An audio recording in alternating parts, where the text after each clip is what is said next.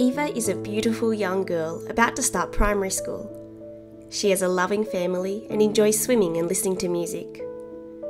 Eva began having seizures from the day she was born. At six months old, after a lot of uncertainty, she was diagnosed with SCN2A. To better understand what SCN2A is, let's first go back to basics. Our genome is the whole set of DNA found in a cell. It's like a library full of instruction manuals for how our body functions.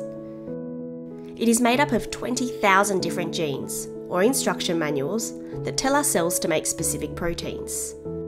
Each protein has a job that makes sure our body functions well.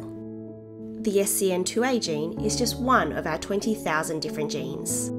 It provides the instructions for our cells to make the NAV1.2 protein.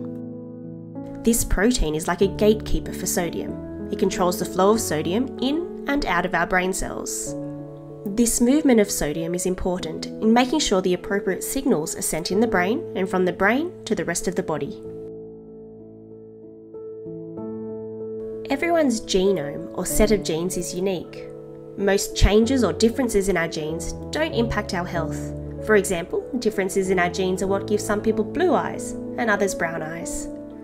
However, some changes can cause health problems. Changes in the SCN2A gene cause a range of health problems in how the nervous system, including the brain, functions. These changes may be inherited from a biological parent, or may be de novo when a gene change occurs for the very first time. In both cases, changes in the SCN2A gene affect the way the NAV1.2 protein works. Individuals with changes in their SCN2A gene differ widely in the severity of symptoms and comorbidities, the coexisting or co occurring conditions.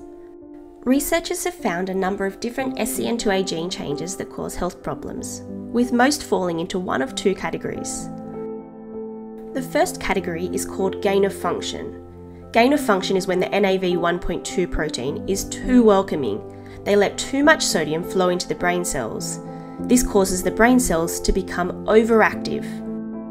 For individuals with an SCN2A gain of function, we see an onset of seizures from very early on, typically in the first three months of life. Seizures may be frequent and difficult to manage with medications. These individuals may also experience comorbidities or additional symptoms such as developmental delay or intellectual disability, movement disorders, autism spectrum disorder, and problems with the stomach and gut. The second category of SCN2A gene changes is called loss of function. Loss of function is when the NAV1.2 protein is not welcoming at all. They don't let in enough sodium into the brain cells, and this causes the brain cells to become less active. Individuals with an SCN2A loss of function often experience seizures that begin after the first three months of life. This may be during infancy, usually presenting with infantile spasms, or during childhood. These children may also slow or go backwards in their physical and learning development. Some children with an SCN2A loss of function may present with autism spectrum disorder and or intellectual disability and not experience seizures. Some children with an SCN2A gene change may experience a more mild condition known as self-limited neonatal seizures.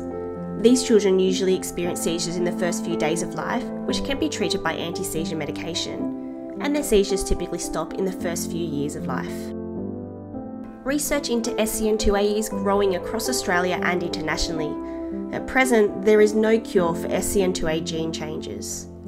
Advanced therapies, including potential gene therapies, are currently being explored in the laboratory and clinical trials.